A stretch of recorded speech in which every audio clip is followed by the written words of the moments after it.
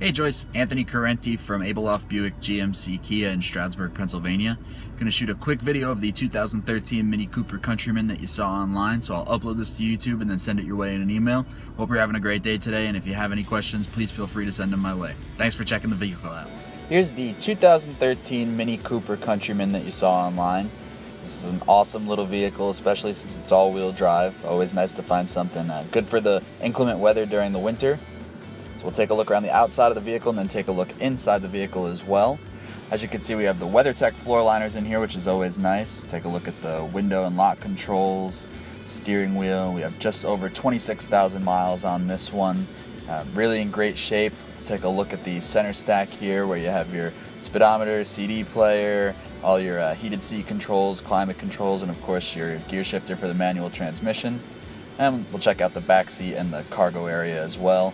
Uh, please feel free to take a look. Let me know any questions that you might have. I could be reached directly at 570-421-9900, extension 1110. Thanks, Joyce.